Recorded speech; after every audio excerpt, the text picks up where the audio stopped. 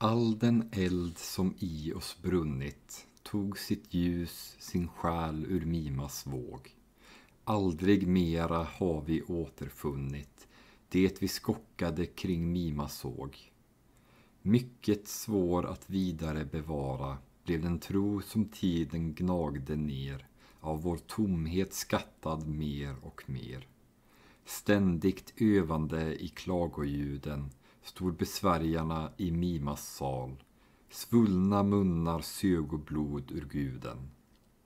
Även människooffret kom till heders fastän vanan nött dess helighet med sin ström av redan brutna eders stora myckenhet.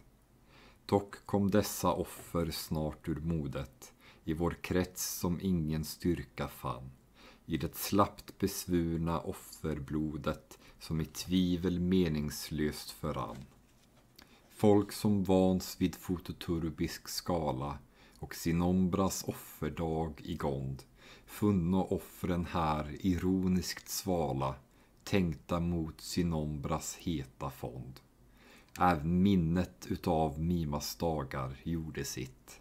Det skämdes där det låg i sin böneställning enligt lagar som det lydde blott med härmad håg. Och för kultens själiskt frusna präster tycktes offerblodets flöde kallt.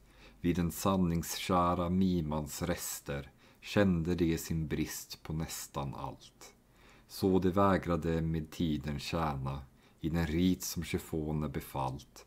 Vilket slag för denne suveräne hårt förbenade domptörgestalt.